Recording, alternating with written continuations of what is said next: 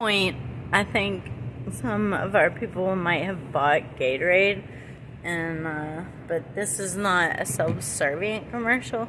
This is educational. So I tried this uh, muscle milk because I realized that it would not hurt me to get a daily dosage of folic acid, which I think. let me see, folate twenty percent.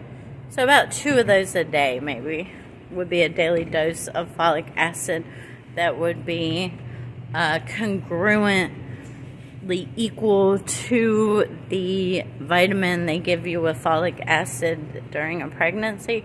So, for women who don't want to deal with the medical industry and get pregnant, this is something you can drink. It's made by Gatorade Muscle Milk that has folate in it. But there are also leafy greens that have folic acid in them. So, just a little, it tastes pretty good.